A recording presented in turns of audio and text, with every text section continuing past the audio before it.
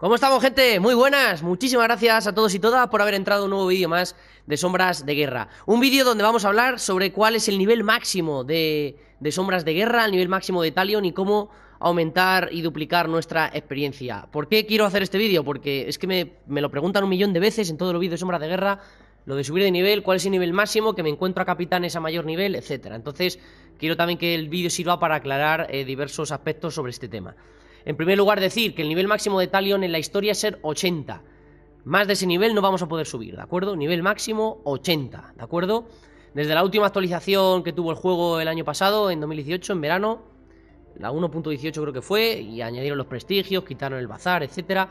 Bueno, desde esta última gran actualización, con la desolación de Mordor también, pues el juego eh, incluyó los prestigios, donde podemos seguir eh, fortaleciendo eh, las habilidades de Talion. O sea, que podemos seguir subiendo de nivel, pero es un nivel virtual, digamos, ¿de acuerdo? O sea, el nivel máximo es 80, pero podemos seguir aumentando la fuerza de, y el poder de Talion, sobre todo la potencia, la concentración, el uso de las monturas, la recuperación de, de ira por cada muerte, etcétera. Bien, eh, por eso quiero decir que el nivel máximo es 80, pero sumado a los prestigios vamos a tener otro nivel. Por eso eh, habéis visto ahí el, título y la miniatura del, vídeo. Bien, también deciros que no hay capitanes por encima del nivel de Talion. solo los capitanes enemigos pueden estar en el nivel máximo, que es 85. Los capitanes bajo el poder de Talion, máximo nivel 80. Si encontréis alguno en el 81 es porque ha matado a un capitán en combate y ha subido nivel. O bien porque hay un pequeño glitch y yo no digo que no pueda pasar. Pero es muy raro, pero puede ser por eso. Eh, si yo someto a un capitán de nivel 85, que hay un objeto que puedes dominar a capitanes por encima del nivel de Talion, máximo 5 niveles creo que es, no recuerdo ahora mismo el nombre del objeto, hay varios objetos que te permiten esto.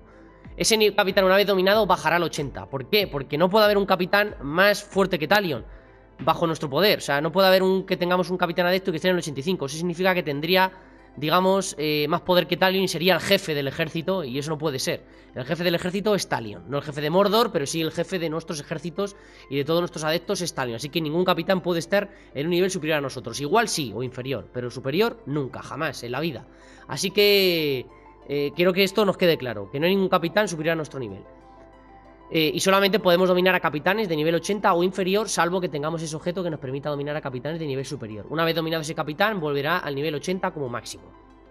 Bien, en cuanto a nivel, ¿cómo se sube de nivel de manera rápida y efectiva? La mejor manera ahora mismo más eficaz, lo he dicho mil, veces, hacer asaltos, asaltos y asedios a saco. Tener asignados la cuenta Warner Bros. Play enlazada, ¿de acuerdo?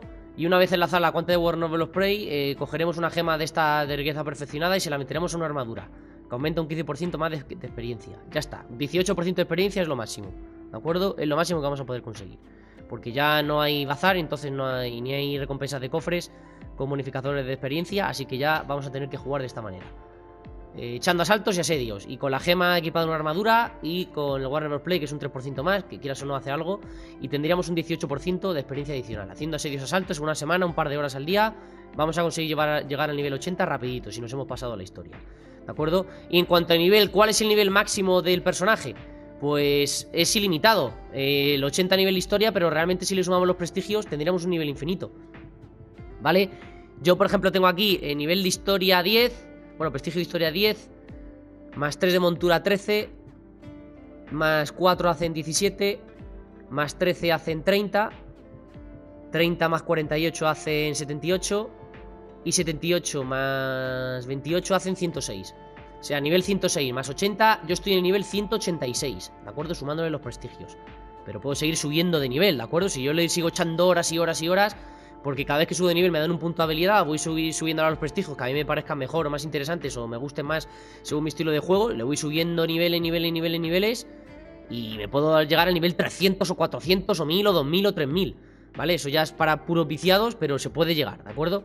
O sea que el nivel máximo es infinito y el nivel de historia 80, ¿de acuerdo? Que ya no podemos subir nuestras habilidades, pero sí que podemos aumentar prestigio de combate, prestigio de predador, modo a distancia, espectral, con montura y eh, prestigio de historia que nos recupera recuperación de ira por muerte, ¿de acuerdo?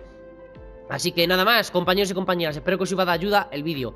También deciros que habrá próxima serie de Sombras de Guerra en diciembre, bastante larga, donde incluiremos bastantes cositas, los pozos de pelea, los saltos online, ya lo iré viendo. Y a ver si subo también algún vídeo más de asaltos a fortalezas de suscriptores, que tengo que seguir subiendo. eh, como he dicho siempre, el juego de Sombra de Guerra yo no lo voy a dejar morir. Aunque los creadores sí, aquí en el canal se seguirá subiendo, ¿vale? Yo sé que a vosotros os gusta mucho y yo lo voy a seguir subiendo. A mí me mola y si a vosotros os gusta, pues vamos a por ello. Lo que pasa es que, como entenderéis, también hay más juegos y a mí me gusta jugar a otros juegos y no tenemos todo el tiempo del mundo eh, como para dedicar la sombra de guerra. Pero el juego se seguirá subiendo y seguiré dando cobertura, no os preocupéis por eso. Ya sabéis que es un canal pues de variedad, donde aunque el sombra de guerra sea el juego que más he subido, pero siempre me gusta pues traer algún otro título y jugar de vez en cuando y, aportar otro tipo de, contenido. Aunque los todos, todos de videojuegos, algún trailer, alguna noticia que al final es lo que me gusta dedicar aquí al canal y algún juego que pues esté en rebajas oferta, pues que quiera yo traerlo porque me guste o tenga tiempo, ¿de acuerdo?